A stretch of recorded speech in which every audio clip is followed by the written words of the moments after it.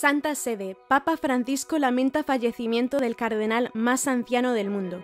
El Papa Francisco lamentó el fallecimiento del cardenal Joseph Tomko, prefecto emérito de la Congregación para la Evangelización de los Pueblos, que falleció el 8 de agosto en Roma a los 98 años. Este cardenal eslovaco era el purpurado más anciano del mundo y comenzó su servicio a la Santa Sede desde 1962. Por su parte, el Papa Francisco expresó su más sentido pésame en un telegrama en el que destacó que este cardenal sirvió al Evangelio y a la Iglesia con humildad y abnegación.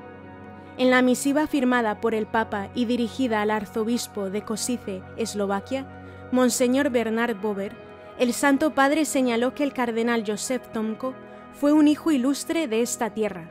Por ello el Papa expresó su cercanía y su pésame a su familia, al presbiterio y a todos los fieles, por el duelo que ha golpeado a toda la comunidad eclesial y a la nación eslovaca.